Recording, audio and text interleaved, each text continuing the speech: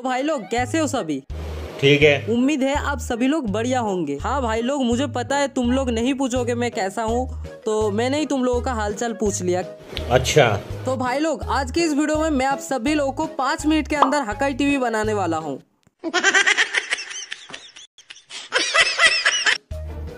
ऐसे तो नहीं होता है। हमारे यहाँ ऐसा ही होता है। सॉरी सॉरी सॉरी भाई लोग। सॉरी सॉरी सो भाई लोग आज की इस वीडियो में मैं आप सभी लोगों को हकाई टीवी का colour grading smooth slow motion and effects वगैरह सिखाने वाला हूँ। यानी कि कंप्लीट ट्यूटोरियल देने वाला हूँ हकाई टीवी का। आप लोग भी इस वीडियो को देखने के बाद हकाई टीवी जैसा एडिटिंग कर पाओगे। यानी कि कंप्लीट हकाई टीवी का एडिटिंग सीक्रेट आज हम रिवील करने वाले इस वीडियो के अंदर। तो वीडियो बहुत ही इंपॉर्टेंट होने वाला है। आप सभी लोगों के लिए तो वीडियो को केयरफुल एंड तक अच्छे से वॉच करना एंड चैनल पे न्यू आ रहे हो, पहली बार के लिए आ रहे हो तो क्या कर रहे हो गाइज़ अभी क्या अभी सब्सक्राइब कर दो, क्योंकि हम ऐसे ही क्वालिटी वीडियोस अपलोड करते रहते हैं। आप सभी लोगों का हेल्प करने के लिए तो सब्सक्राइब करके बेल आइकॉन दबा देना। एंड इसी के साथ गाइज़ लाइक करना भूल जाते हो तो लाइक कर दो अभी के अभी वीडियो को एंड कमेंट में बताना आज का वीडियो कैसा लगा। तो चलिए गाइज़ आज का वीडियो स्टार्ट करते हैं।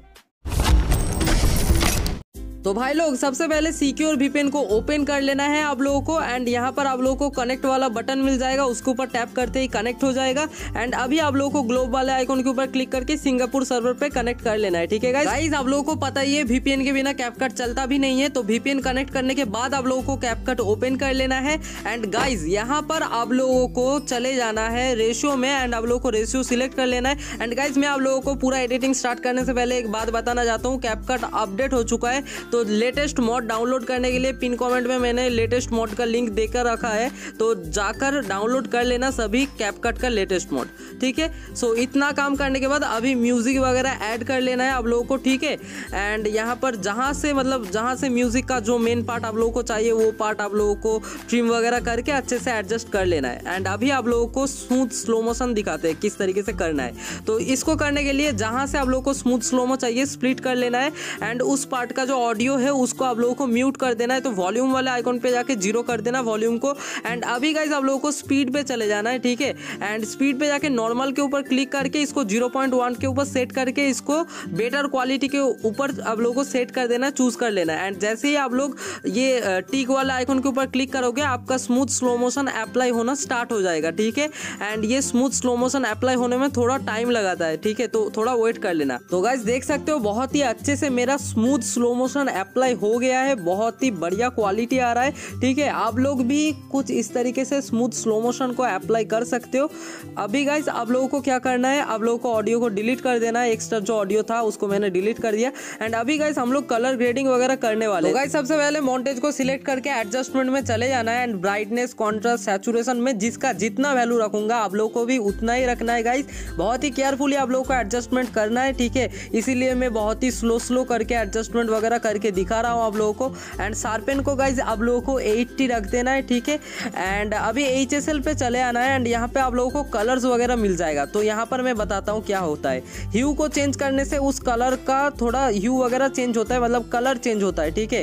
एंड उसका सैचुरेशन को इंक्रीज डिक्रीज करने से आप लोगों को पता ही है कलर डीप होता है और लाइट होता है। और लूमिनेंस से वही इफ़ेक्ट वगैरह मिलता है। तो आप लोगों को सभी कलर का इंक्रीज और डिक्रीज करके देखना है। आपके मॉन्टेज के हिसाब से जो भी कलर वगैरह आप लोग बैलेंस करके देखना, जो भी अच्छा लगे, उसी कलर को आप लोगों को रखना है, ठीक है? तो ये करने के बाद आप लोगों को बैक आना है एंड टेम्परेचर में आप लोगों को प्लस फोर रख देना है, ठीक है? एंड अभी गाइज़ आप लोग माइनस भी रख सकते हो, वो डिपेंड करेगा आपके मॉन्टेज वीडियो के ऊपर, ठीक है? तो मेरा प्लस रखने से ज़्यादा अच्छा लग रहा है तो मैंने टेम्परेचर को प्लस फोर रखा है। विगनेट को ज़्यादा नहीं बढ़ाना बस प्लस फाइव तक कर देना है एंड अप्लाई टू ऑल के ऊपर क्लिक कर देना है, ठीक है?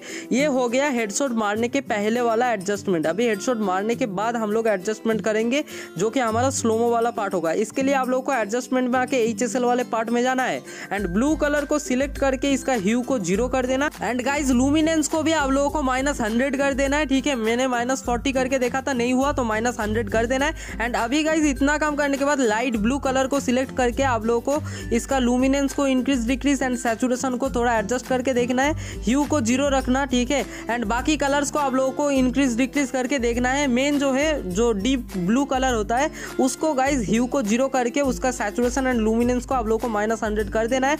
बस इतना काम करते ही आपका कलर ग्रेडिंग हो जाएगा हकाई टीवी जैसा, ठीक है? इतना ही सिंपल है, इतना ही ईजी है। तो आई होप आप लोग बिल्कुल समझ चुके हो किस टाइप से आप लोगों को हकाई टीवी जैसा कलर ग्रेडिंग करना है। तो गाइज़ बाकी सभी एडजस्टमेंट आप लोग कर लेना। आपके हिसाब से मैंने जो मेन चीज़ है वो बता दिया है वही आप लोगों को फॉलो करना है, ठीक है? एंड अभी गाइज़ इतना काम करने के बाद हमारा पूरा कंप्लीट हो चुका है, ये वाला एडजस्टमेंट कलर ग्रेडिंग वगैरह। तो गाइज़ इसको सिंपली बैक कर दूँगा, लेकिन उससे पहले गाइज़ मैं थोड़ा ये पिंक वाले कलर को एडजस्ट कर रहा था तो अपना हो चुका है कलर ग्रेडिंग इसको बैक कर देंगे। एंड अभी गाइज़ मैं आप लोगों को सिखाने वाला हूँ, किस तरीके से आप लोग अभी इफ़ेक्ट वगैरह यूज़ करोगे, ठीक है? जो मेन मेन इफ़ेक्ट है, वही मैं दिखाने वाला हूँ। तो गाइज़ यहाँ पर ग्लूअल मारने का टाइम जो है यहाँ पर आप लोग यूज़ कर सकते हो पल्स वाला इफ़ेक्ट ठीक है? या फिर आप लोग वाइब्रेशन फ्लैश वाला यूज़ कर सकते हो, जो कि मैंने बहुत सारे वीडियोज़ में यूज़ किया है अपना वाइब्रेशन फ्लैश वाला इफ़ेक्ट ठीक है? तो मैं यहाँ पर वाइब्रेशन फ्लैश को यूज़ कर रहा हूँ, आप लोग चाहो तो पल्स वाले को भी यूज़ कर सकते हो, दोनों ही बहुत बढ़िया सा एक लुक देता है, ठीक है? तो इसका अगर वाइब्रेशन फ्लैश वाला यूज़ करोगे तो इसका ग्लो और रेंज को बढ़ा देना है, इसके एडजस्टमेंट में जाकर। एंड अभी गाइज़ उसके बाद जो इफ़ेक्ट आप लोगों को चूज़ कर लेना है, वो है शेक वाला, ठीक है? तो शेक वाला दोगे तो ज़्यादा हिलेगा, बहुत ज़्यादा हिलेगा और कैमरा शेक दोगे तो हल्का हल्का हिलेगा। तो बहुत ज़्यादा हिलाना है तो आप लोगों को शेक वाला चूज़ कर लेना है। इसका स्पीड आप लोगों को एट एंड मतलब एट टेन ये ये सब रख सकते हो या फिर सिक्स ठीक है, मैं सिक्स रख रहा हूँ। और इंटेंसिटी को आप लोग अपने हिसाब से एडजस्ट कर लेना, ठीक है। तो देख सकते हो, ये बहुत ही बढ़िया एक इंटरेस्टिंग लुक दे रहा है, ठीक है। अभी गाइज़ फिर से आप लोग को इफ़ेक्ट पे चले जाना है एंड अभी गाइज़ यहाँ पर black flash and black flash two मिल जाएगा। तो ब्लैक फ्लैश चूज़ करोगे तो बहुत ज़्यादा फ्लैश इफ़ेक्ट मिलेगा and black flash two choose करोगे तो हल्का हल्का।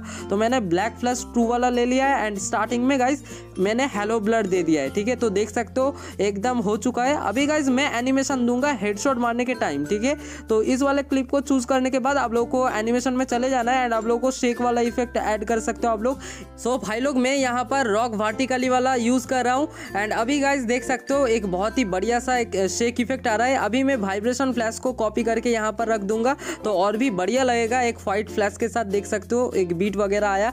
एंड अभी गाइज़ स्लोमो वगैरह बहुत अच्छा लग रहा है। एंड लास्ट इफ़ेक्ट जो मैं देने वाला हूँ, वो है एज ग्लो ठीक है? एनिमेशन भी दे दिया इफ़ेक्ट वगैरह भी हो गया, ठीक है? एंड ग्लो इफ़ेक्ट चाहते हो तो ये भी दे देना, ठीक है? स्लोमो वगैरह होने के बाद सो इतना काम करने के बाद हमारा ऑलमोस्ट सभी चीज़ें कंप्लीट हो चुका है। एंड लास्ट में मैं भूल गया था गाइज़ जो चीज़ मैं लास्ट में कर रहा हूँ, वही आप लोग को फास्ट में करना है, ठीक है? आप लोग को फॉर्मेट में जाके नाइन इस टू सिक्सटीन चूज़ कर लेना है, क्योंकि शॉर्ट वीडियो बना रहे हैं हम।